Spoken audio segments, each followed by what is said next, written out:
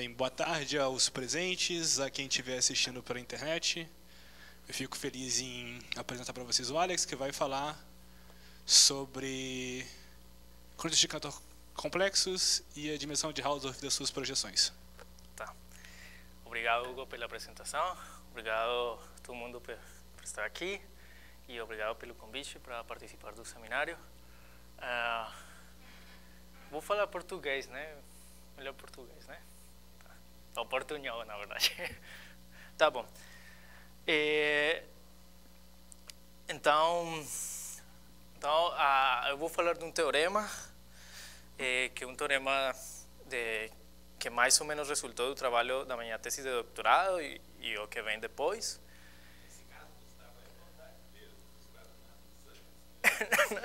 não, eu trabalho junto com o Gugu. e Tá, então, eh, o teorema está motivado primeiro por, um teorema clássico do Marstrand. O teorema clássico de Marstrand fala o seguinte, se você pega um conjunto eh, de Borel no plano,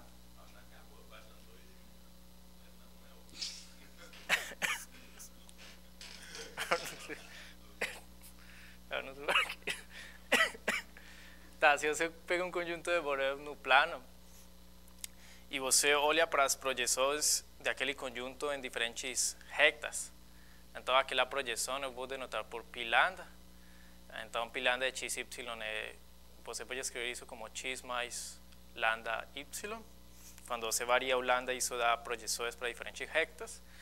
E o que fala o teorema de Marstrand é que se você olha para a dimensão de Hausdorff daquela projeção, então isso vai ser igual ao mínimo entre 1 e a dimensão de Hausdorff do conjunto.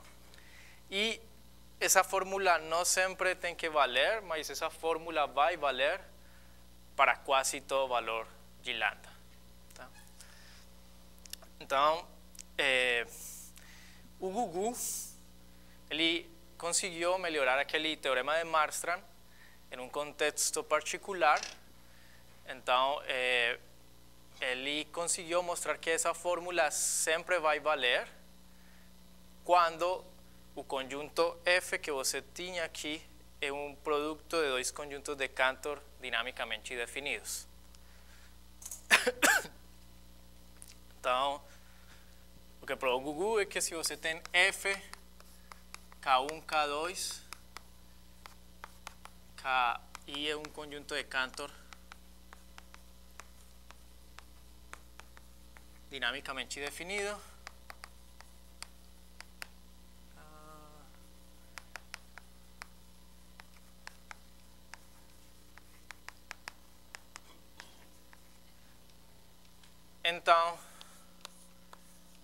aquela fórmula, a dimensão de Hausdorff de pi lambda f, só que pi lambda f no caso vai ser K1 mais lambda vezes K2, sempre vai ser igual ao mínimo entre 1 e a dimensão de Hausdorff do produto, que é exatamente igual à soma das dimensões de Hausdorff.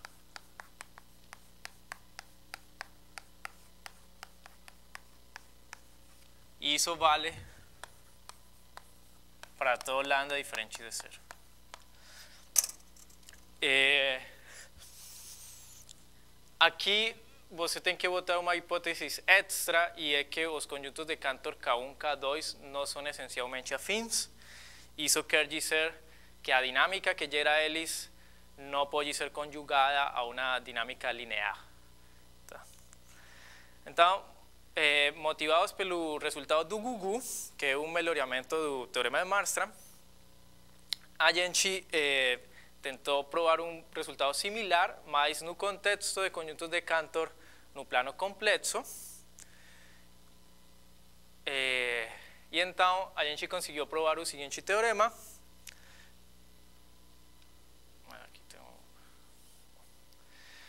Então, eh, teorema fala que se você olha o produto de n conjuntos de Cantor no plano complexo, que são dinamicamente definidos, e você olha para a dimensão de Hausdorff da projeção deles para uma função h, ou seja, da imagem deles para uma função h, que a gente vai supor que é uma função C1 mais alfa. Então, essa dimensão de Hausdorff é igual ao mínimo entre a dimensão da, eh, do codomínio da função h, que no caso é RL, então a dimensão é L, e a dimensão de Hausdorff do produto, que corresponde à soma das dimensões de Hausdorff. Aqui nesse teorema você também tem umas hipóteses, você precisa eh, supor que os conjuntos de Cantor são conjuntos de Cantor eh, dinamicamente definidos no plano complexo, que nenhum deles é essencialmente afim. E talvez aqui é, é bom fazer uma, um comentário, e é que no, no, teorema passado você só ia supor que um deles é, não é essencialmente afim. E nesse teorema você precisa supor que todos eles não são essencialmente afins. Porém, se você bota como hipótese que a função h, de fato, é, é, se isso é, L é par, então você pode pensar isso como Cn, isso como C alguma coisa, também como espaço complexo. E se você bota como hipótese que a função h é, de fato, holomorfa em várias variáveis, então você não precisa supor que todos K1, Kn são não essencialmente afins, você só precisa supor que n menos um deles não são essencialmente afins. Bom, mas eu, eu teorema para o caso em que a função h não é holomorfa, então você precisa supor que todos eles são não essencialmente afins. E além disso, você precisa eh, supor que nenhum deles está contido em uma curva analítica. Eh, no caso em que algum deles esté contido em uma curva analítica, na verdade você pode, poderia reduzir seu análise eh, para para, uma, para um contexto diferente, porque no caso em que um deles está contido em uma curva analítica, então, na verdade, você pode pensar aquele conjunto de Cantor como a imagem por uma função analítica de um conjunto de Cantor na. E então você poderia reduzir seu, seu análise para trocar um desses conjuntos de Cantor por um que seja um conjunto de Cantor complexo por um conjunto de Cantor na recta, uma coisa assim. Bom, mas no teorema a gente supor que, vai supor que que nenhum, nenhum deles está contido em uma curva analítica, e além disso, a gente que supor que a função h verifica umas hipóteses, que são hipóteses genéricas. Eu vou botar as hipóteses aqui.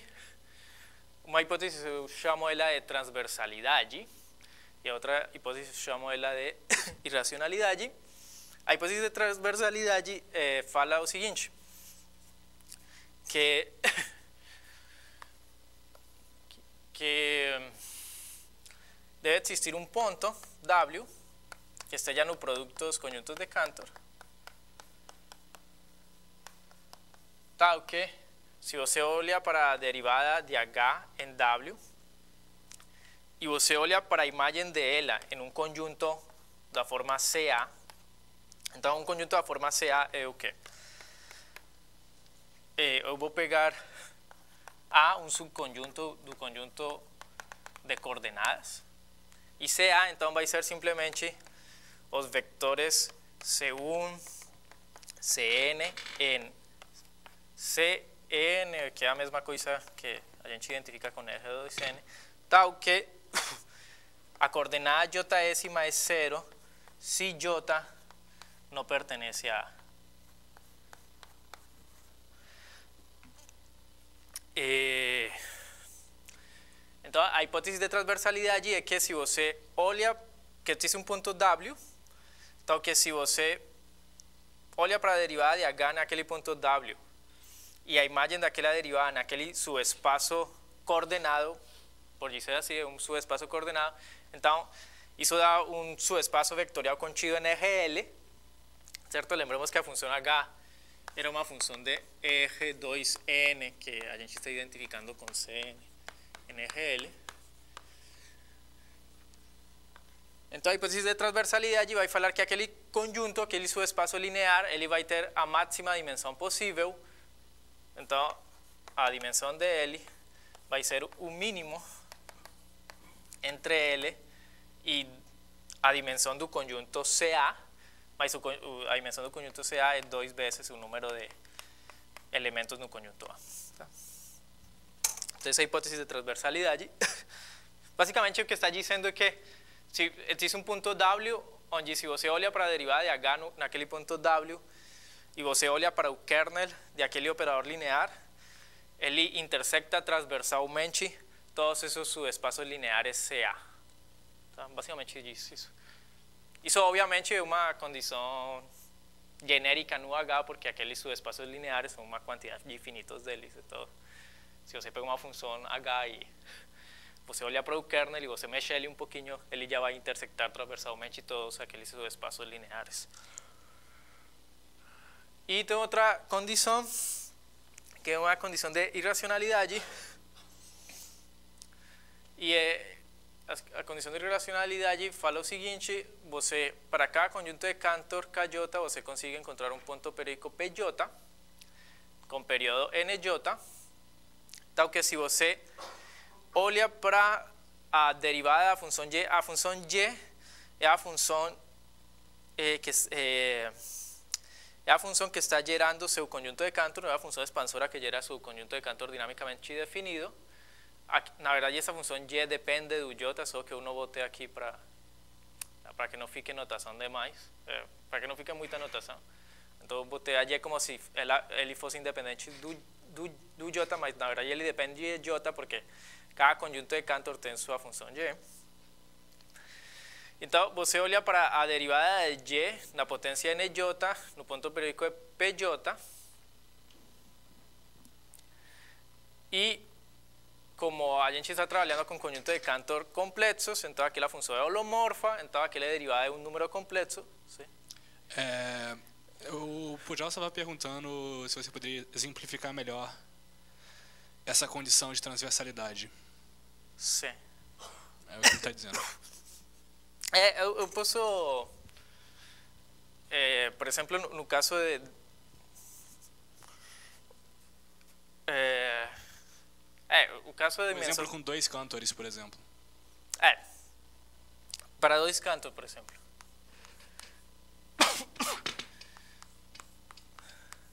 Então, imagina que você tem dois cantor, tá certo? Então a função H ela vai ir de R4, o que a gente pensa como C2, eh, e você pode pensar que ela vai, por exemplo, no, para C. Certo? Então você pensa isso como R2, uma coisa assim. Tá certo? Então o que deve acontecer é que você deve poder encontrar um ponto W em K1, K2. Então que se você olha para a derivada de H naquele ponto W,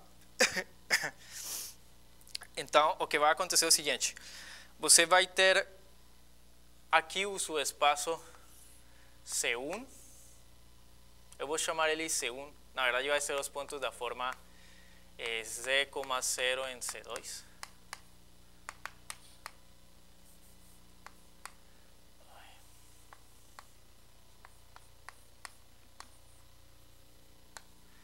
E aqui você vai ter seu espaço C2, eu vou chamar ele C2.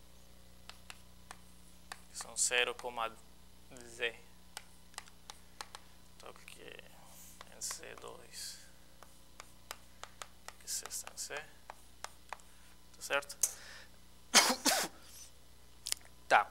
E a, a, a, a, derivada de H no ponto W, então ele vai ser uma função linear que vai eh, levar o, o R4 no R2. Então você espera que o kernel, o, o núcleo da função H,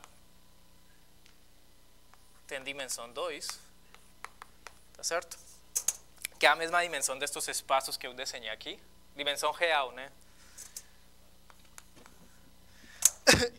Mas, mas, de qualquer jeito, essa hipótese ela é aberta e densa e, o, que ela, e ela vale no complementar de, de um conjunto de codimensão infinita. Quer dizer, ela, ela, ela é uma hipótese muito. É, que, quer dizer, que, que, que, vale muito amplamente. Né? Se você fixa um ponto W, essa hipótese é, é aberta e densa. Quer dizer, isso vai acontecer tipicamente. Mas basta que valha para algum ponto no produto cartesiano desses cântores. Então, não, o conjunto dos pontos, onde, o conjunto das funções H para as quais não vale essa hipótese, é, é, um, é um, fechado de interior vazio muito pequeno, de fato de codimensão infinita, né, como a gente fala. Obrigado, Hugo. Eh, eu vou continuar então aqui.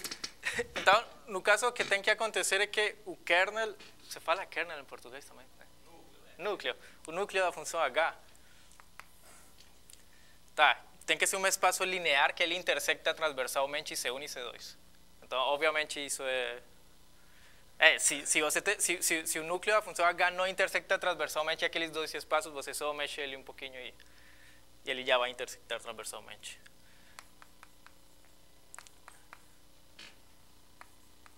ele tem que ficar, para que verifique a condição de transversalidade neste caso, por exemplo, o kernel da função h tem que intersectar esses dois subespaços mais ou menos como no desenho, uma coisa assim. Tá. O exemplo ficou mais ou menos claro. Sim? O Henrique falou alguma outra coisa. Tá. Então, e tem esta outra hipótese que parece mais esquisita. E então você você tem a função y, que é a, a função que, def, que, que, que gera seu conjunto de Cantor. Você tem pontos periódicos PJ em KJ e você eh, cada ponto periódico com período NJ. E você olha para a derivada de y na potência NJ no ponto PJ, como a função y a gente está supondo que é uma função holomorfa, então isso é um número complexo. Então você pode escrever esse número complexo como sua norma e o argumento dele. Então RJ vezes E elevado a IVJ, onde RJ é um número real, VJ é um ponto que está no círculo, NS1 ou no toro, unidimensional. E agora, com aqueles RJ e VJ, você forma essa família de vectores. Esses vectores vão ser elementos neste grupo, R n-1 vezes Tn, tá certo? E o que você vai pedir é que aquela família de vectores gere um subconjunto, um subgrupo denso desse grupo. é, tá. Essa é a hipótese de irracionalidade, que parece um pouco mais esquisita. é, Por ejemplo, hay procesos de irracionalidad allí, eh, en un caso particular, por ejemplo, en un caso particular que usted tenga solo un conjunto de Cantor, ¿está cierto? Usted tiene solo un conjunto de Cantor en un plano complejo, usted quiere proyectar él eh, como funciona H na recta, y hay hipótesis de irracionalidad y en ese caso va a ser que eh,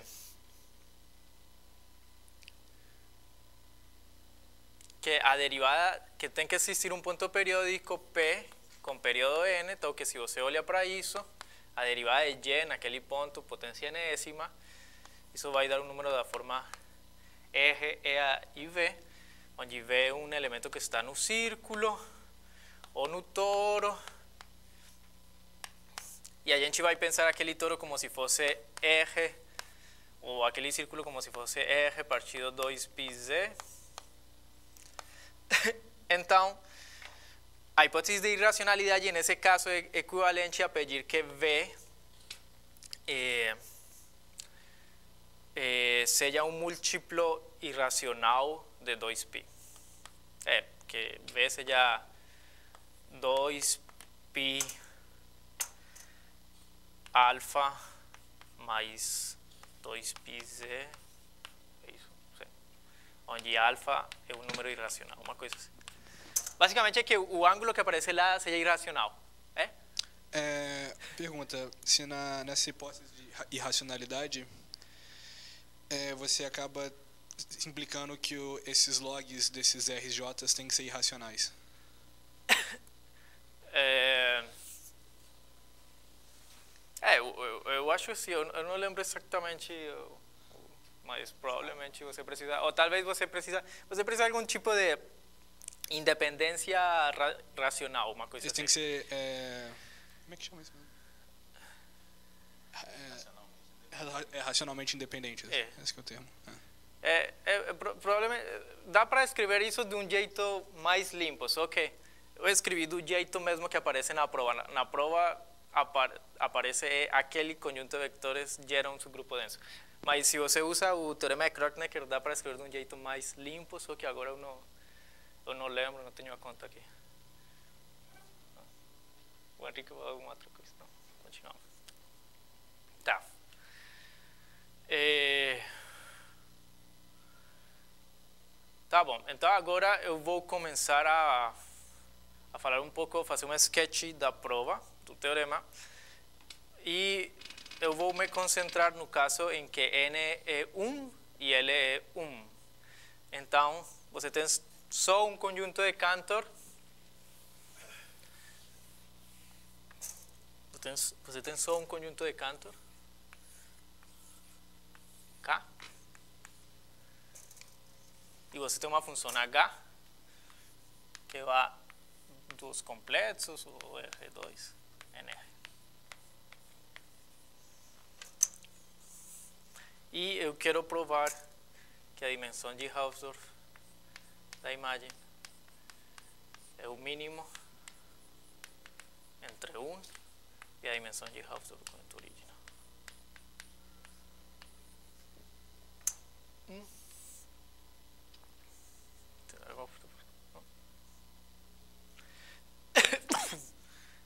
Tá.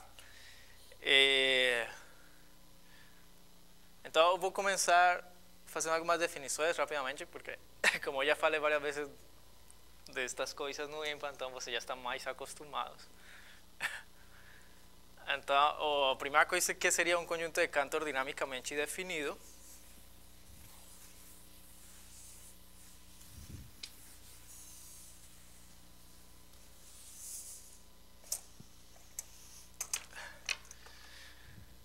Então a ideia é que você vai ter dois conjuntos, mas na verdade, eu vou supor que você tem só dois, mas na verdade você pode ter só uma quantidade infinita de conjuntos.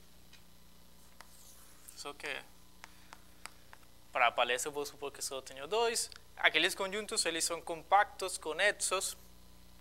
Cada conjunto deles é igual ao fecho do seu interior. E a interseção entre eles é disjunta.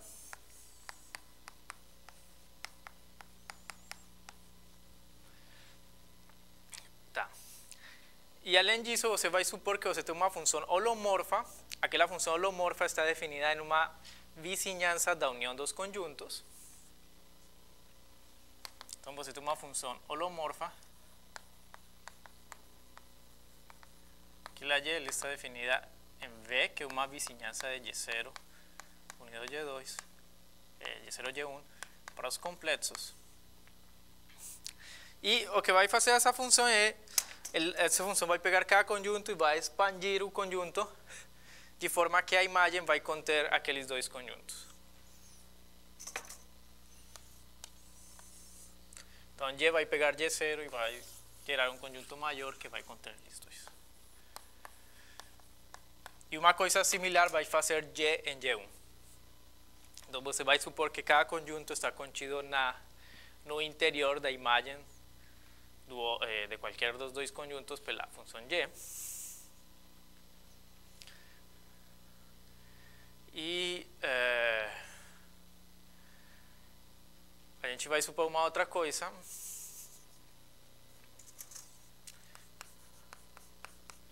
E é que a função y restricto no conjunto YA, A pode ser, o, a função y restricta a qualquer dos conjuntos, ela pode ser estendida por uma função que um biolomorfismo na imagem. Então é uma restrição, um biolomorfismo na imagem. Você consegue estender ela para um biolomorfismo. Tá, e além disso, a gente vai que a, a, a norma da derivada da função y sempre é que 1. É, como, como na a está interessado na função y eh, vicinanzas de un conjunto compacto, porque los Y0 y Y1 son compactos, entonces la verdad yo sepollo pues, por qué hizo aquí es mayor que una constante mayor que 1. Porque você tem a desigualdade em um conjunto compacto. Tá. Então eh, vez você tem essa, eh, essa, esses dados, você pode definir um conjunto de Cantor. O conjunto de Cantor vai ser definido como o conjunto dos pontos que estão na união entre Y0 e Y1 e tal que quando você aplica a Y para aqueles pontos, eles nunca saem do conjunto Y0 e Y1. É, tipo, é o maximal invariante para a função Y na, na união. Sim?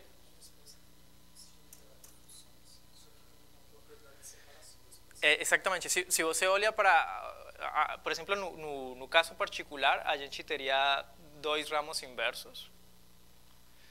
É, teria duas e, e ramos inversos definidos em dois conjuntos que se solapam. Só que as imagens, as imagens vão ser disjuntas, são dois ramos inversos.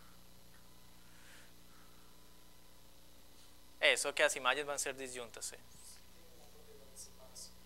É, é, exatamente, teria uma propriedade de separação, sim.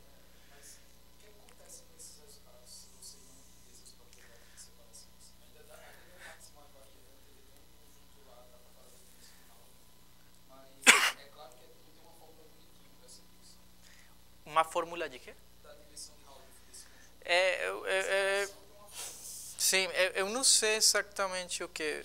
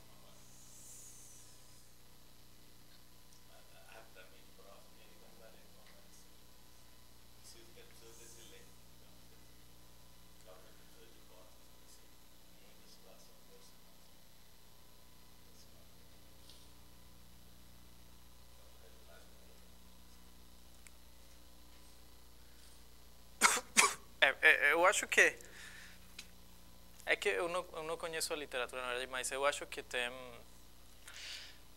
é, é, se você tem interseção, eu acho que o jeito normal de estimar a dimensão de Hausdorff do mesmo conjunto K não, não, não vai necessariamente funcionar, né? Então, não, eu, não, eu não sei o que vai acontecer com a projeção, não sei. Mas o Google acha que dá para aproximar, né? E que tipicamente dá para aproximar.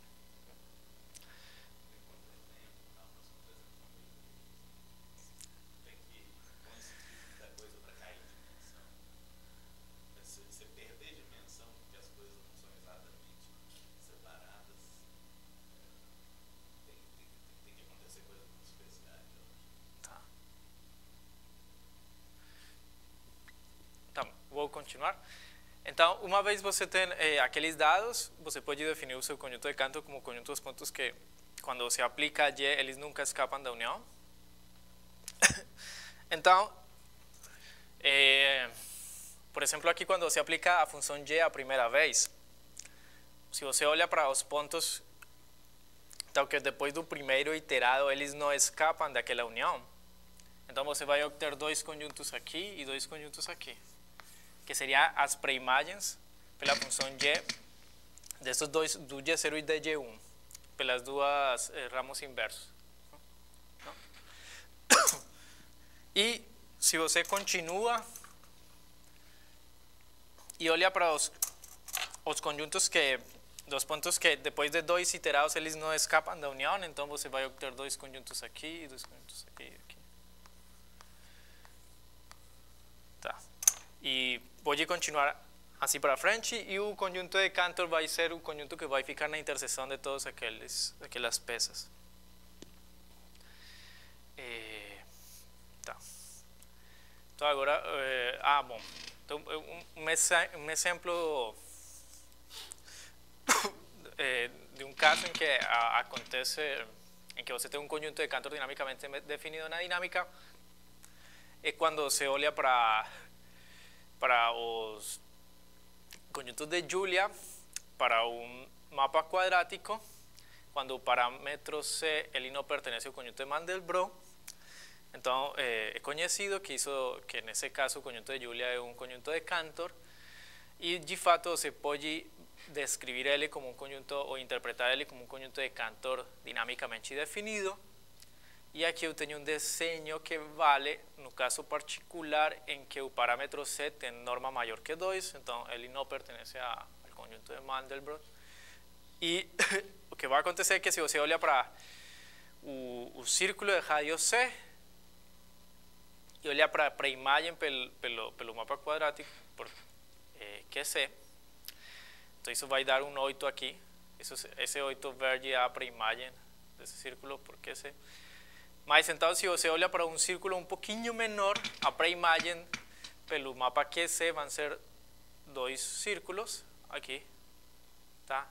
E então, se você olha para esses os dois discos limitados por esses dois círculos, então esses dois discos, junto com o mapa QC, vão gerar um conjunto de Cantor dinamicamente definido que va a corresponder con el conjunto de Julia para, para ese mapa. Un poquito de notación. Eh, una vez você tem uma secuencia finita de ceros y unos, você pode olhar, eh, que a gente denota por A baja, que va a ser a 0 até a n, você pode olhar para Y a baja, que va a ser el conjunto dos puntos la unión de Y0 y Y1, tal que eh, a imagem jésima de aquele ponto, pela função y, vai estar no conjunto y a j. Então, por exemplo, aqui, por exemplo, a poderia ter o conjunto y0, 0, que seria esse conjunto aqui. Aqui o conjunto y0, 1. E aqui dentro, por exemplo, a poderia ter o conjunto y, 0, 1, 1. Sea dos puntos, son los puntos que están en Y0, que cuando se aplica Y una vez se les van para Y1 y cuando se aplica Y dos veces se les van para Y1. A medida que a, a, a palavra a barra vai ficando mais longa, aqueles conjuntos, eh, o diâmetro deles vai indo exponencialmente para zero. Y ahora a gente, associado aquella palavra baja, aquella secuencia finita de símbolos ceros y unos, a gente pode considerar a, as composições de ramos inversos determinados por aquella función, por aquella palabra a baja. Y aquella composición a gente denota por f a baja. Entonces, por ejemplo, aquí você tinha o conjunto y0, 1, 1. Si você aplica a función y, entonces él va a ir para el conjunto y 1, 1. Y si ahora você aplica a función y, então isso é se você aplica a função y. Se você aplica a função y de novo no conjunto y1, 1, então a imagem vai ir para todo o conjunto y1. Tá certo? Então, se você tem um conjunto aqui pequeno y0, 1, 1, se você aplica a função y, você vai para um conjunto maior que seria o conjunto y1, 1. Y si se aplica a función y de novo, entonces se va para un conjunto mayor que sería el conjunto y1. Y si ahora você considera a composición de las inversas de y en ese sentido, se considera a inversa de y que eleva ese conjunto y1 en y1, 1 y a inversa de y que eleva el conjunto y1 en y0, 1, 1. Entonces você vai obter a composición de aquellas inversas, sería la función que a gente denota por f 0, 1, 1. Certo? Então, a gente tem, assim define aquelas funções f a barra, como composição de ramos inversos. E uma outra notação que a gente vai dizer que uma, uma sequência finita de símbolos a barra, uma palavra barra, vai ter, eh, vai ser de, de tamanho de ordem Rho, se o diâmetro de, do conjunto Y a barra é, é, é, comparável com Rho em, no sentido desta desigualdade aqui. É menor ou igual que C0 Rho e maior ou igual que C0 inverso Rho, onde C0 é uma constante muito grande que a gente fixa em algum momento. que está fixa. Tá, agora eu vou definir o que são as geometrias limites. Eh, as geometrias limites são bastante importantes na prova. Eu vou, eu vou falar depois porque elas são importantes. E eh, a ideia para definir a geometria limite é que você considera uma sequência teta baja, que seja uma sequência para trás infinita de palavras ou de símbolos ceros e uns. Teta menos n, teta menos n mais 1. Teta 0, oh, teta menos 1, teta 0. E a ideia é que você vai cortando essa sequência infinita para trás de ceros e uns para gerar uma palavra teta, a gente denota teta barra n. e você olha para o conjunto y de teta barra n, que é um conjunto pequeno. Aquele conjunto ele é imagem pela função f teta barra n do conjunto muito maior y teta 0 E a ideia é que depois você vai usar uma função afim, que eu vou denotar aqui φ teta barra n, para pegar esse conjunto pequeno e renormalizá-lo, levar ele para um conjunto que tem diâmetro 1. E você vai olhar para essa composição, que eu vou denotar por k teta barra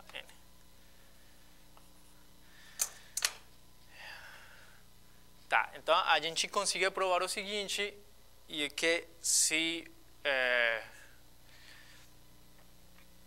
que para, para toda sequência infinita para trás de zeros e uns, se você olha para essa família de funções, k teta barra n, então essa família de funções converge eh, para uma função holomorfa k teta barra. Essa função k teta barra você pode estender ela para um biolomorfismo sobre sua imagem e ela depende continuamente do teta barra.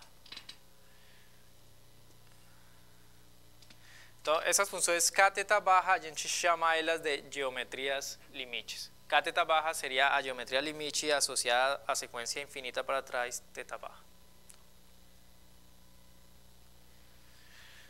Ah, e existem duas razões eh, pelas que é importante para a gente considerar a geometria limites.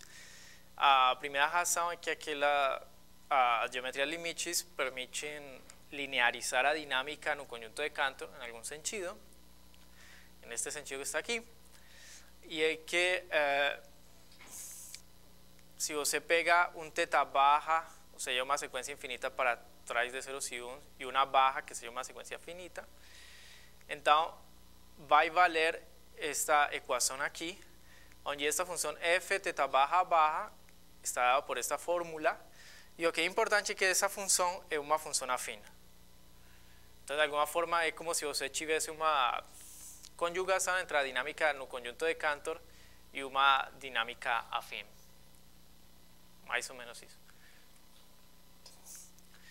É...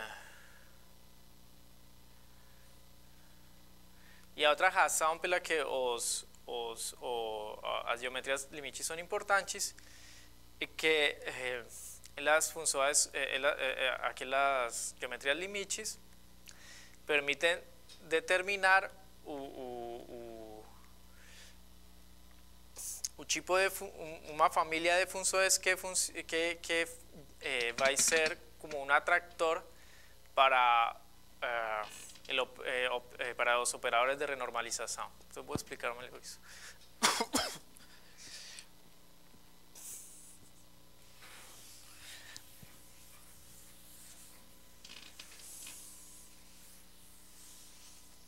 A ideia é que a gente vai ter aqui o conjunto de Cantor.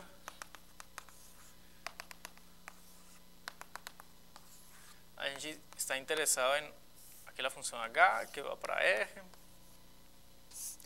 E em algum momento a gente vai querer olhar o que acontece somente em uma parte pequena do conjunto de Cantor. Essa parte pequena, pequena você pode denotar por un Y baja. Y entonces você está interesado, por ejemplo, solo en considerar o que acontece con la función H en ese conjunto Y baja. Entonces, lo que você pode fazer é, você pode interpretar aquele Y barra como a imagem pela função F barra de, de um cantor agora de tamanho normal, de, de eh, uniforme, controlado. E se você se interessa por estudar a função H naquele conjunto Y baja, então você pode considerar a composição H com F baja. Certo? E a gente então chama isso eh, então a, a, a gente de renormalizar a função H usando a, a palavra A baja. E o que acontece no nuestro caso es que eh, cuando, cuando el comprimento de la palabra baja va para infinito, y, y cuando se olea para que las composiciones F con, eh, H con F a baja, entonces módulo composición con una función afín a la izquierda, esas funciones eh, van, ser, van, van a estar arbitrariamente perto de uma função desse tipo.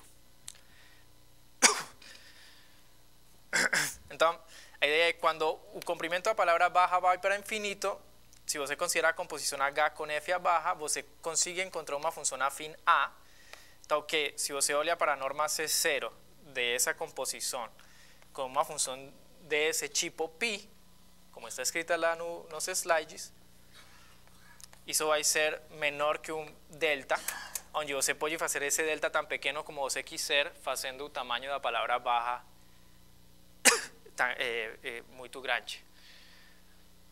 La idea es que cuando você comienza a renormalizar aquella función h, módulo composición con una función afín na izquierda, você vai ficar cada vez más perto de una función de ese tipo, que essa, essa, a função desse tipo é aplica uma geometria limite e depois um produto ponto com um vector C. Tá? É, então, essa é a outra razão pela que a gente usa as geometrias limites.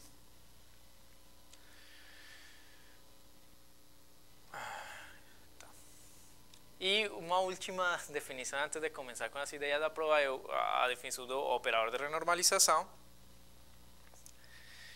La idea siguiente, suponga que você tem o conjunto de Cantor aquí.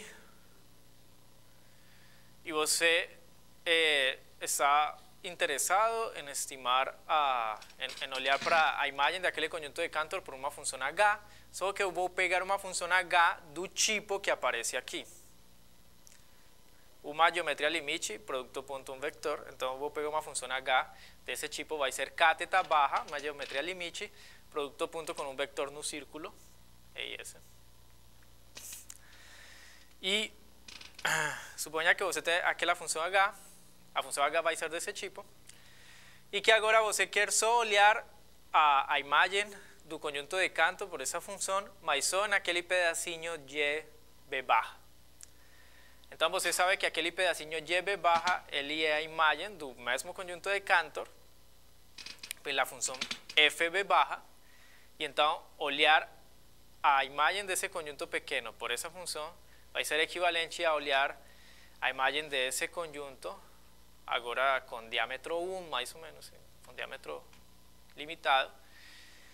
A imagem desse conjunto pela composição do fb barra com essa função aqui y lo que a gente consigue, lo que a gente puede mostrar es que, de facto, esa función aquí, composición con esa aquí, corresponde módulo composición con una función afín a izquierda con proyectar por esta función.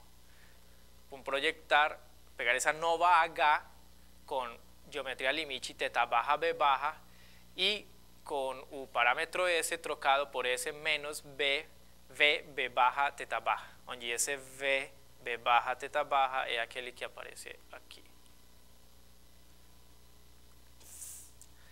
Então, el, então a gente eh, codifica isso em, em eh, eh, ou isso motiva a definição do operador de renormalização. Então, o operador de renormalização associado à palavra B barra, vai ser denotado por TB barra, vai ser a função que leva o par geometria limite um valor S. Esse valor está no círculo ou no toro, certo? É um ângulo. Então, quando você tem esse par teta barra S, você pode pensar que a gente está pensando naquela função e aplicar o operador de renormalização associado à palavra B barra vai ser renormalizar esse pedacinho do conjunto de Cantor. Então, a ideia é que quando você faz isso, você vai obter uma projeção para uma nova geometria limite e um novo valor para o parâmetro S. Tá? E essa é a definição do operador de renormalização. Perguntas? No WhatsApp já todo mundo está dormido. Já, já o Henrique já.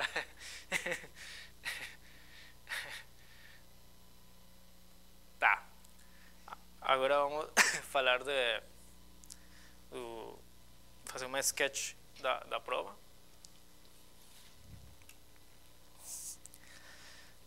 Então, a primeira coisa é que a gente vai conseguir supor que. É, vamos lembrar primeiro o que, que a gente quer provar.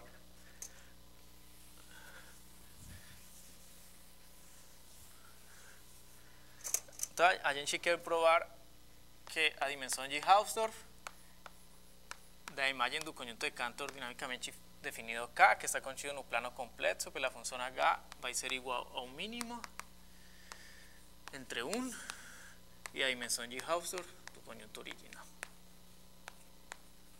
Aqui é um conjunto de Cantor no plano complexo. A gente tem a função H que vai para os reais. Então, a primeira coisa é que a gente consiga supor que a dimensão de Hausdorff de H é menor que 1, porque eh, se, a, se, a, dimensão de Hausdorff de H não fosse menor que 1, então a gente, eh, se ela fosse maior igual que 1, então a gente consegue aproximar o conjunto de Cantor K por outro conjunto de Cantor cativo, encontrar um conjunto de Cantor cativo dentro de K, dinamicamente definido, então, que a sua dimensão de Hausdorff vai ser menor que 1 e vai ser muito perto de 1, vai ser maior que 1 menos epsilon. Então, para todo epsilon dá para encontrar esse conjunto cativo. E agora, se a gente já tivesse provado o teorema, no caso em que a dimensão de Hausdorff de K é menor que 1, aplicando o teorema para esse conjunto de Cantor cativo, a gente vai obter o, conjunto, o teorema para o conjunto de Cantor K. Isso é fácil porque a dimensão de Hausdorff do conjunto de Cantor K seria maior ou igual que a dimensão de Hausdorff do conjunto de Cantor cativo, mas, ah, desculpa, a dimensão de Hausdorff da imagem seria maior igual que mas se, se a gente já provado o teorema para o caso em que o conjunto de Cantor tem dimensão menor que 1, então a gente aplicar o teorema para cativo, e então isso seria o mínimo entre 1 e a dimensão de Hausdorff de cativo, mas a dimensão de Hausdorff de cativo é menor que 1. Então isso seria a dimensão de Hausdorff de cativo. Mas isso é maior ou igual ou maior que 1 menos epsilon. E agora você faz epsilon ir para zero e isso implica então que a dimensão de Hausdorff de H de K é maior ou igual que 1. Mas ela tem que ser 1 porque não pode ser maior que 1 porque h de k está contido na recta, então isso é 1. E que no caso seria 1, seria o mínimo entre 1 e a dimensão de Hausdorff de k. No caso em que a gente esteja com dimensão de Hausdorff de k maior que 1. Maior ou igual que 1, então dá para fazer, para, para encontrar aquele cativo dentro de k e fazer esse truque. Então a primeira coisa que a gente consiga reduzir para esse caso então, na verdade, como a gente reduz para esse caso, a gente só tem que provar que a dimensão de Hausdorff de H de K é igual à dimensão de Hausdorff de K, porque ele vai ser um mínimo entre 1 e a dimensão de Hausdorff. Ah?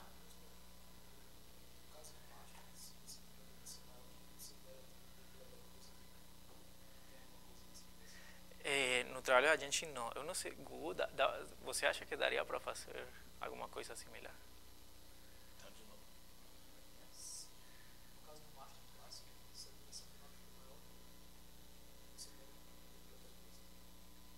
Para quase toda a projeção. Mas aqui você vai conseguir dimensão total, mas é, você vai conseguir. Acho que o jeito mais fácil de conseguir medida de level positivo é conseguir quando tem aberto persistentemente, que é uma coisa que vai ser, vai ser típica nesse caso. É, dá trabalho. Não, essa prova dá só dimensão. Eu acho difícil ter medida positiva persistentemente. Se não tiver aberto. Do outro lado, a gente conhece condições que garantem como as condições que garantem que o negócio de projeção especificamente, dá para adaptar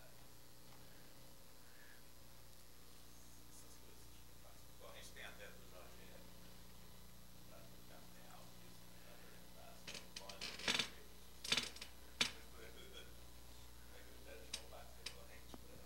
o caso geral de projeção. Né, tem esse caso geral de projeção de produtos de, conjuntos de Cantor, em que deve dar para generalizar os critérios de compacto recorrente da tese do Hugo, que é, é, garantem, sob certas condições, que as projeções de produtos cartesianos de conjuntos de Cantor é, um interior não vazio persistentemente. O que a gente acredita é que, tendo dimensão suficiente, quer dizer, se a dimensão do produto for maior que a dimensão do, do lugar que você está projetando, tipicamente a projeção vai, vai ter interior não vazio persistentemente. E provavelmente isso é o jeito mais fácil para garantir medida positiva. É, é, é, claro que ainda, ainda tem que provar um monte de coisa para mostrar que isso acontece tipicamente, mas em princípio, esses critérios de compacto recorrente podem ser adaptados também nessa situação de dimensão mais alta que as projeções de produtos cartesianos, de um jeito análogo ao da, da tese do, do Jorge Eric, no caso real, né, que ele trata de projeções de produtos cartesianos de conjuntos de canto reais. É, mas, em princípio, as coisas parecem fazer sentido também. Tá, tá só para quem não estava ouvindo, a pergunta era sobre se tinha alguma condição para garantir a medida positiva da projeção persistentemente e o Gugu deu uma ideia de resposta sobre o que seria necessário. Tá, tá, vou continuar então. É... Tá, então a gente está no caso em que a dimensão de conjunto de Cantor é menor que 1. A gente é, argumentou porque a gente pode supor isso. E então a gente tem que provar essa fórmula aqui. E é, a, prim, a, primeira, é, então a gente vai querer provar duas desigualdades, que isso é menor ou igual e maior que igual. A primeira desigualdade é trivial, pelo fato de que H é uma função Lipschitz, porque ela é ao menos C1, então ela é Lipschitz, e então a, uma função Lipschitz ela não vai aumentar a dimensão de Hausdorff. Então, a dimensão de Hausdorff de H de K tem que ser menor ou igual que a dimensão de Hausdorff de K. Isso é trivial. E então, a gente tem que provar isso aqui, que a dimensão de Hausdorff de H de K é maior ou igual que a dimensão de Hausdorff de K. E, é,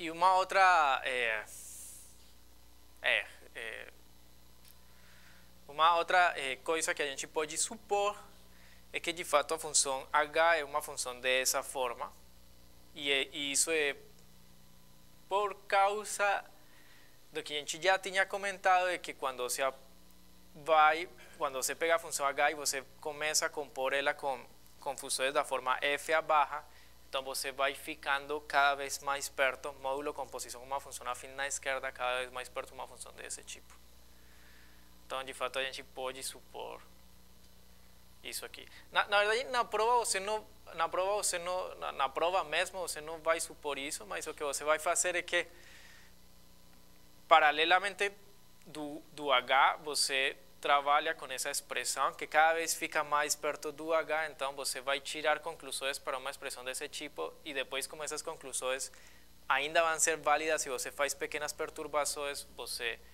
vai concluir a mesma coisa para, para o H. Isso é o que acontece na prova mesmo. Então, mas, mas moralmente, então, o que, o, que, o que moralmente na prova, aunque você não se restringe a esse tipo de funções na prova, moralmente isso o que você faz. É, moralmente, realmente a prova para esse tipo de funções. Só que depois você mostra que que aquela propriedade da, de atractor das geometrias limites dá, dá a prova para qualquer função H. Tá. É, então, para, para, para provar essa desigualdade aqui, aqui, então a gente usa um, um, um método estándar, eu não sei se é estándar, mas um método que é bastante usado para estimar a dimensão de Hausdorff por baixo, que, que o pessoal conhece como o princípio de distribuição da massa.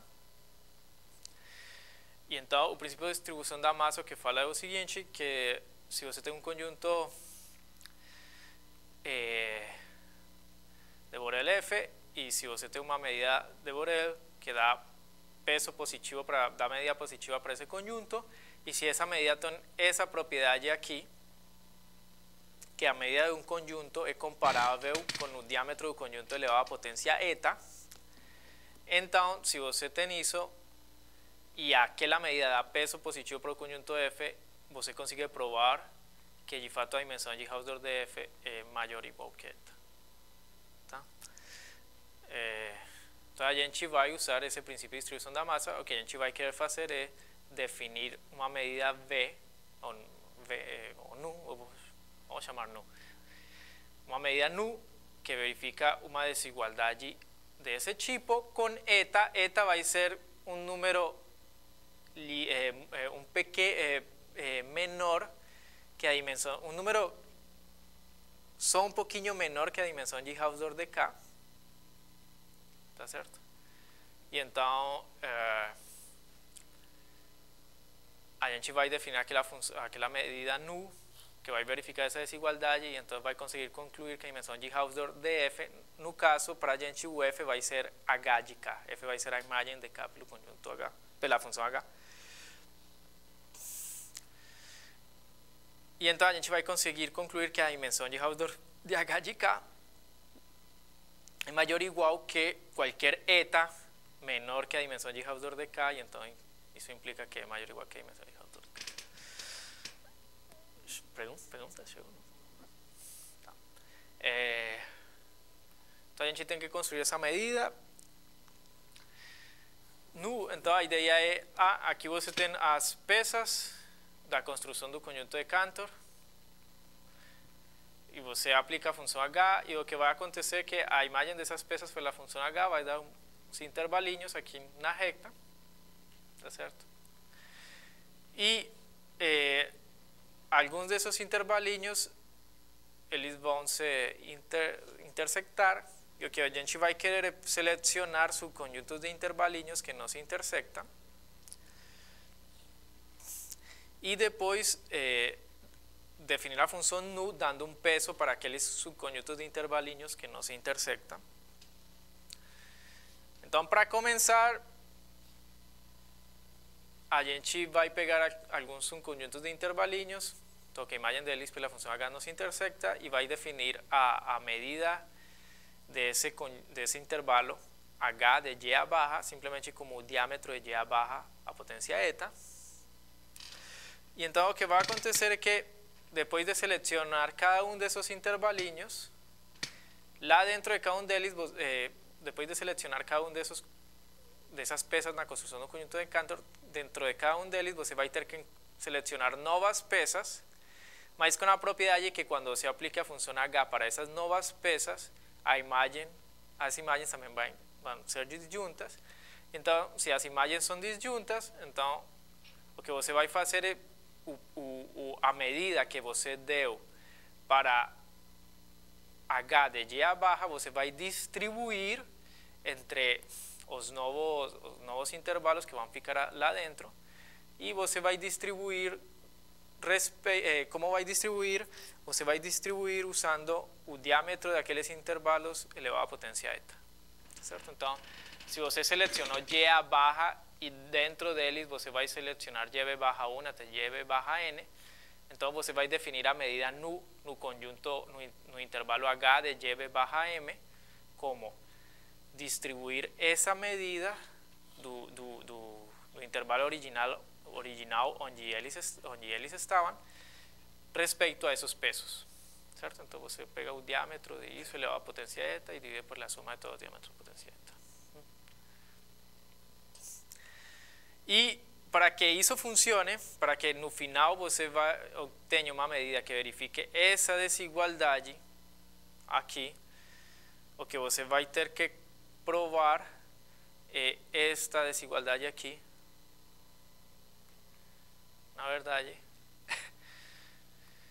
Então, e para você conseguir provar essa desigualdade aqui, então eu vou dizer uma, uma, coisa, uma coisa adicional que eu não disse, e é que a ideia é que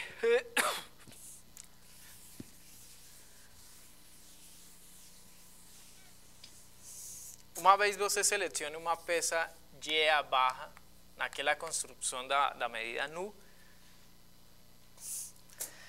e agora você vai selecionar peças menores que estão dentro de GA barra, peças GB barra, a gente vai fazer essa seleção de forma que o tamanho relativo de GB barra respeito a GA barra é, é Rho. Então, na verdade, a gente vai fazer a seleção de forma que, se você olhar para esse diâmetro, sobre esse diâmetro, eh, isso é menor ou igual que C0 Rho e maior ou igual que C0 inverso. Então, uma vez você escolhe uma peça GA barra na construção daquela medida nu, o número de peças GB barra lá dentro que você pode escolher é da ordem Rho elevado a menos a dimensão de Hausdorff do conjunto de Cantor K. E então, eh, para você garantir que você vai conseguir provar essa desigualdade, o que vai acontecer é que você vai precisar que o número de pesas que você consiga escolher para, para definir aquela medida nu é, é uma proporção positiva do total. Então você vai precisar que el, eh, número de, de pesas que você vai conseguir que você vai conseguir escolher dentro de GA barra vai ser da mesma ordem que o total, ou seja, vai ser da ordem Rho elevado menos a dimensão de Hausdorff de K. Então você tem que escolher muitas peças Porém, você tem que garantir que essas peças que você está escolhendo, elas têm imagem disjunta pela, pela, pela função H.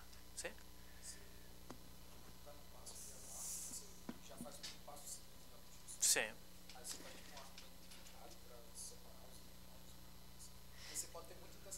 Sim. Você quer separar muitos intervalos que?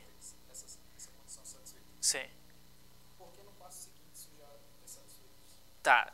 O, negócio que para garantir isso, e, e na verdade aqui está o coração da prova, para garantir isso você precisa duas, dois resultados. A gente usa dois resultados. Um é um, um resultado que tipo de teorema Marston discreto. O, o Gugu, Gugu, aquele nome Marston discreto é seu? que Foi você que deu ou alguém mais deu para isso? Foi você o que deu o nome então? Sim. Tá. Então, então a gente precisa de, de dois resultados, um, um tipo de Marston discreto e outro é um lema de recorrência por escalas. O sea, é, na verdade não é para nada fácil fazer aquela escolha. É, é lá que está o coração da prova, conseguir fazer aquela escolha. Em toda etapa, sim. É você garantir que em toda etapa você sempre consegue escolher muitos, muitas peças, então que as projeções, as projeções dessas peças são disjuntas. Sim? Tem uma pergunta? Não? Tá. Tá, e então para isso você precisa o, o, o, Marstrand discreto e o lema de recorrência por escalas. Então eu vou falar deles dois. Então o, o Marstrand discreto diz mais ou menos o seguinte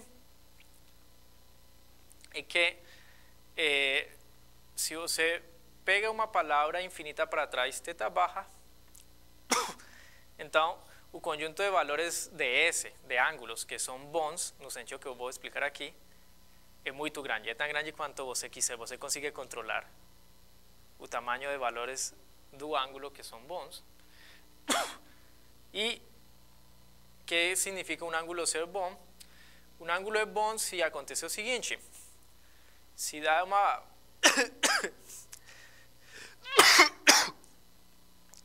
se você pega uma família de peças do conjunto de Cantor eh, de tamanho ρ,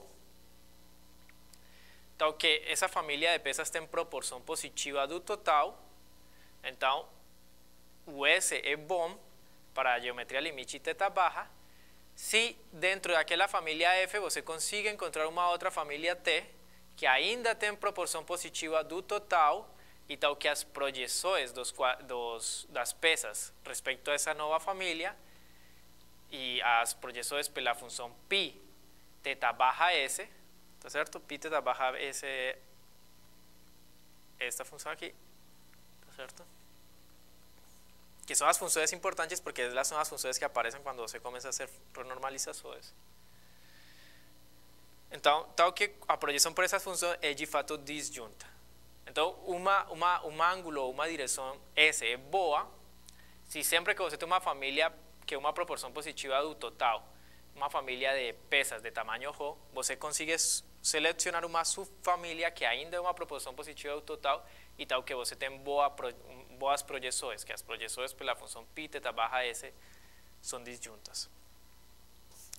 Então, o que fala o, o, o, o, teorema de Marsden discreto é que para, é que, eh, para todo θ barra, o conjunto de valores de S que é bom é, é grande, é muito grande. Tá? Então, eh, qual, é mais ou menos a, a ideia a ideia aqui para a construção da, da média nu. Então, a ideia é, tá, você tem, você está supondo que H de fato é da forma π θ barra S, tá certo? E suponha que, que esse, esse, esse S é um valor, é um ângulo bom para o θ barra, então, como é um ângulo bom, você consegue selecionar uma grande cantidad de cuadradillos de tamaño J o, de pesas de tamaño J o que a imagem por esa función son disjuntas. O problema es que dentro de cada um deles você vai ter que agora fazer exactamente a mesma coisa. Dentro de cada um deles você vai ter que escolher pesas de tamaño relativo a pesa anterior, ρ, e que além disso as projeções são disjuntas. Mas o que acontece é que escolher essa pesa aqui escolher esas pesas pequeñas aquí, eh, vamos a suponer que ese, ese aquí es B baja, escolher esas pesas pequeñas. Va a ser la misma cosa que escolherlas aquí, que escolher aquellas pesas aquí, no para la función pi teta baja s, mas para la composición fb baja con la función pi teta baja s, ¿está cierto? Mas a gente já tinha falado que quando você faz essa composição entre FB barra e θ barra S, o que você vai obter é uma nova função do tipo π respeito a uma nova geometria limite, um novo valor de S dados pelo operador de renormalização, módulo composição com uma função afim na esquerda. Mas o que acontece que a função afim na esquerda ela não joga nenhum papel importante, porque se, se, se as imagens são disjuntas, quando se aplica a função afim na esquerda, as imagens continuam sendo disjuntas. Então a ideia, o que vai acontecer é que quando você tenha um valor de S que seja bom para teta barra, você vai ter que escolher peças, não só que elas se projetem de forma que sejam disjuntas, mas que quando você faça uma renormalização respeito a elas, você vai obter um novo valor de S que deve ser bom para a nova geometria limite.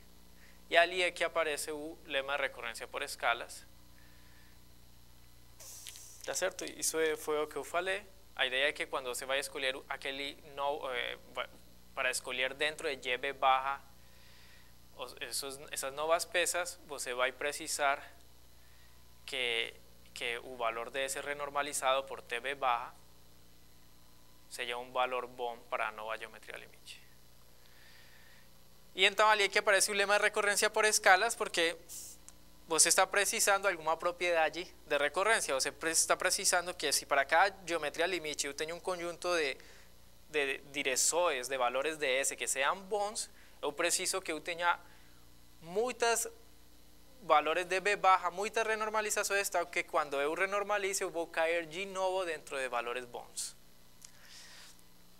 E então ali aparece o lema de recorrência por escalas, que fala, que fala mais ou menos isso. Que, eh, que é o seguinte, se, se você, para cada eh, palavra de tamanho Rho, é bom, que dizem constantes C1, C2, C3, Rosero, não importa. Y você tem una familia de conjuntos, un conjunto para cada palabra de tamaño J. De forma que esas familias de conjuntos son muy grandes, que a medida de, un círculo menos f a baja es menor que, un, que a constante C1, entonces você consigue perturbar esas familias. Eh, en aquellos f a como los valores de S bonds, las direções boas, entonces você consigue perturbar esa familia F a baja por una familia F estrella baja de sus conjuntos do, círculo ainda, con las siguientes propiedades. La primera propiedad es que a familia estrella ainda está perto la familia original, está en una vizinhança de tamaño C2 rho la familia original. Y la segunda propiedad es que la más importante es que você consigue eh, que você consigue para cada valor de S en la familia F estrella, existe una proporción positiva del total de, de pesas de tamaño J, tal que cuando se renormaliza por esa pesa, você a obtener una nueva dirección que va a estar de nuevo conchida en F estrella para, para a nova geometria limite, que un caso sería B baja. Entonces, el lema de recurrencia por escalas, o que está dando para você es que tal vez você no tenga esa propiedad de recurrencia que você precisaba na prova do teorema, mas se você perturba um pouquinho os conjuntos.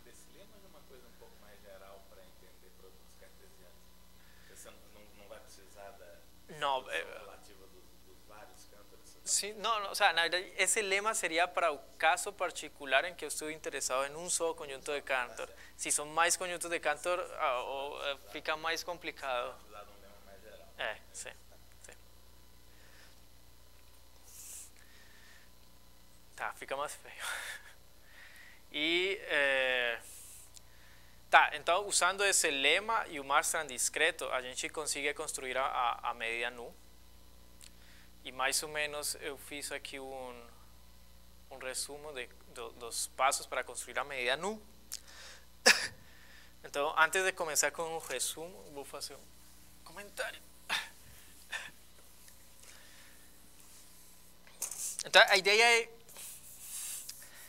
você pode começar pegando para cá a geometria limite teta barra, o conjunto eh, f teta barra contido em no círculo que é o conjunto de boas direções ou, bo, ou bons valores do S.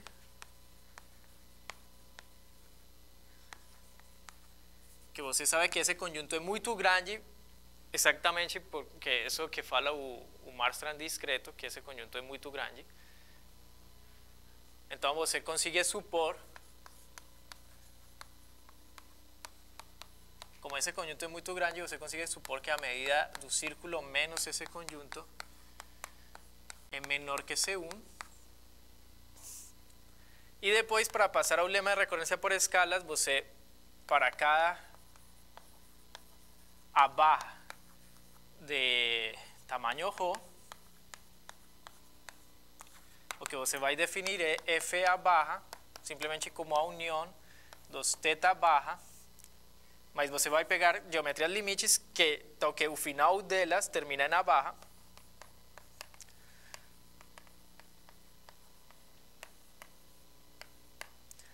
dos F a barra. e, e então vai valer ainda que a, a medida de t menos f a barra é menor que C1. C1 é a constante que aparece no lema de reconhecimento por escalas. E então, agora você pode aplicar o lema de recorrência por escalas para esse conjunto e você vai obter um novo conjunto F estrela F a barra. Uma família de conjuntos F estrela a barra, que agora essa família de conjuntos verifica na propriedade de eh, eh, recurrência. E então quais são os passos para construir a medida nu? Depois de que você faz isso, então você construi a, men- a medida nu do seguinte jeito. A primeira coisa é que você vai escolher um passo avançado da construção do conjunto de Cantor que, con- que vai conter aquele ponto onde a derivada de H verificava a condição de transversalidade. Eh,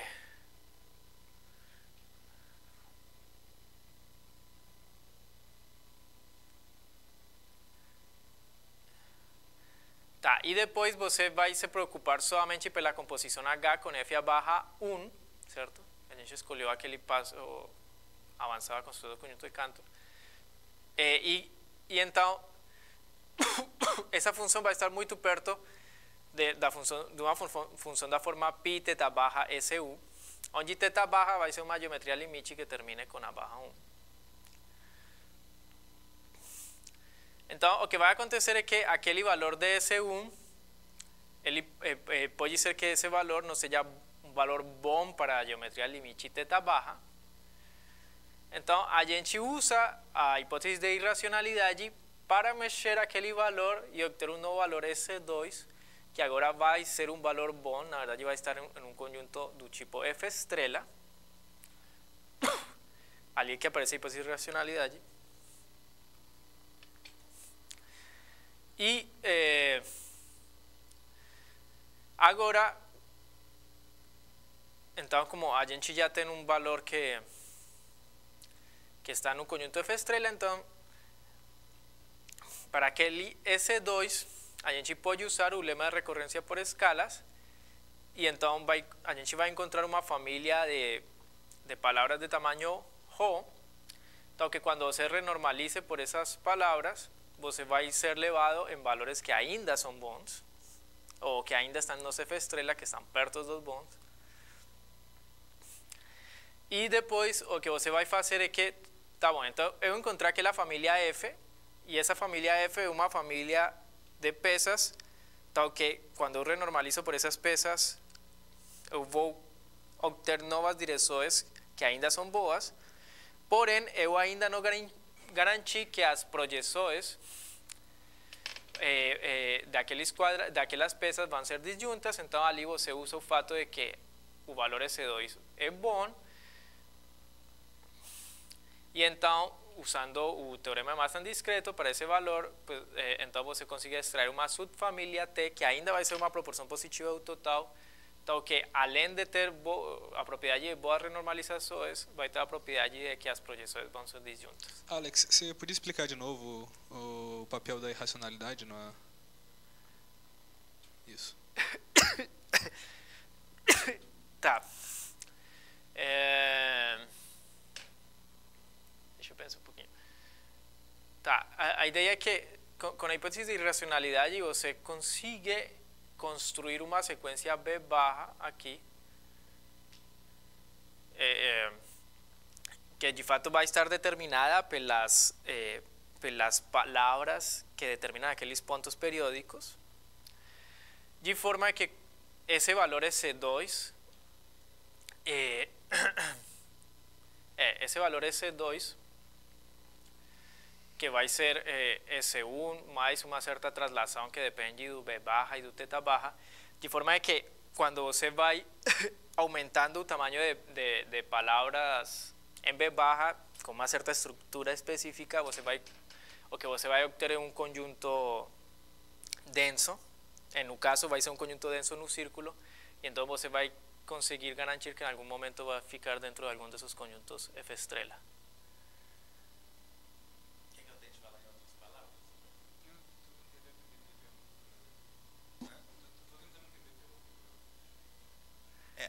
Então, de- deixa eu tentar dizer em outras palavras. Você tem um conjunto de posições boas é, que é bastante recorrente, no sentido de que você tem uma posição boa, você vai ter uma decomposição dinâmica dela que ainda tem muitas peças em posições boas e cada uma delas vai conter muitas peças em posições boas, isso acaba dando dimensão grande na projeção. O negócio é que qualquer posição, pela condição de irracionalidade, se olha para as pecinhas lá dentro, né, elas vão estar em muitas posições, na verdade, no conjunto denso, você vai conseguir alguma subpecinha que está numa posição boa, e aí você ganhou. Quer dizer que a projeção dessa subpecinha vai, vai ter dimensão grande, é, do jeito que a gente quer, e, portanto, a projeção do conjunto todo vai ter dimensão grande, porque ele vai conter uma pecinha cuja projeção tem dimensão grande. É, eu não estou entendendo a pergunta muito bem, mas essa palavra. É, eu vou ler, vou ler literalmente o que ele está falando.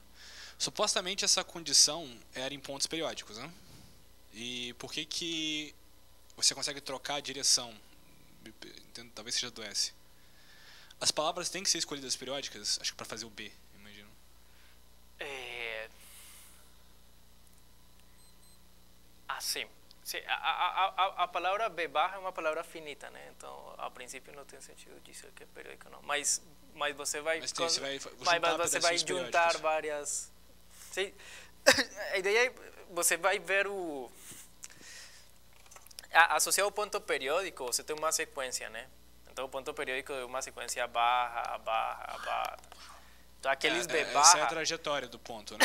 Sobre é, vai ser basicamente a trajetória do ponto periódico. Aquelas palavras B barra vão ser exatamente eh, concatenar vários A barra.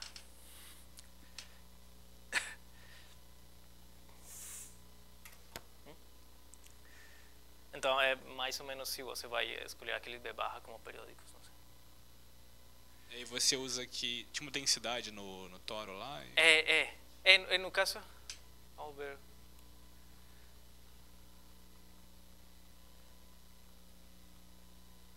É, no caso vai ficar, vamos ver se eu consigo lembrar né, como escrever isso. A equação mesmo. Como?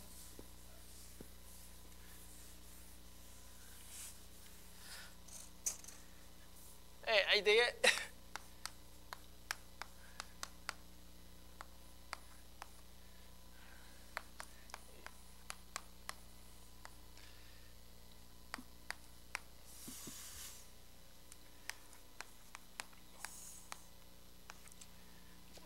mais ou menos a ideia é que você vai botar uma palavra, formar a barra, a barra, várias vezes. Então aqui vai ficar uma coisa do tipo teta barra, a barra elevado a L, vamos pensar. L não sei. Elevado a M, mas aqui isso é M vezes. Então aqui vai ficar S menos V, a barra elevado a na verdade, vou pensar que é M mais J. Que é M mais J. Então vamos pensar na que é A barra M, A barra J. S menos B. E aqui vai ficar teta barra, A barra M, A barra J. E aqui vai ficar A barra M. Então, o, o, o, que vai, o, o, que vai acontecer é que quando você faz o, o M muito grande,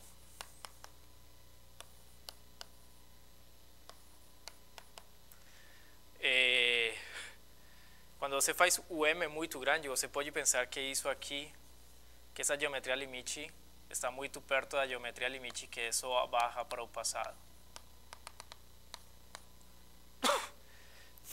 Então isso vai estar muito perto dessa geometria limite. É, eu não sei, teta barra zero, uma coisa assim. Teta barra zero vai ser a geometria limite, que é só a barra passado. Então isso vai estar muito perto disso. É, tá certo? E e se, se e tá e eu acho que para essa geometria vai valer que isso é exatamente não, isso aqui é, não está bem. É, é, eu não lembro muito bem, mas isso vai ser mais ou menos como V de teta barra zero a barra M, uma coisa assim. É, J vezes isso. Então a ideia é você bota aquele B barra como uma palavra desse tipo e você no final que você vai obter uma coisa que basicamente é uma rotação irracional no círculo e como a rotação irracional no círculo é densa, então você vai conseguir cair naqueles conjuntos F estrela. Basicamente Ótimo. isso. Tá.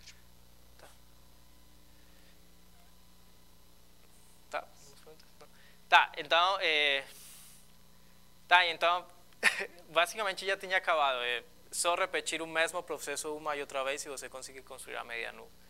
E em cada passo você precisa sempre usar o lema de recorrência por escalas e o mais discreto. Tá, eu acho que vou deixar por aí. Obrigado.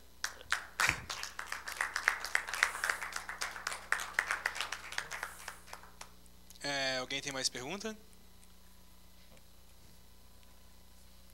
Dá um tempinho para perguntas virem de outros cantos.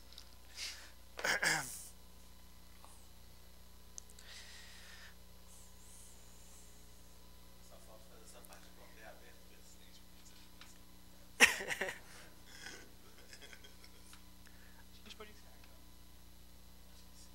É, não tem mais perguntas? Tá, encerramos.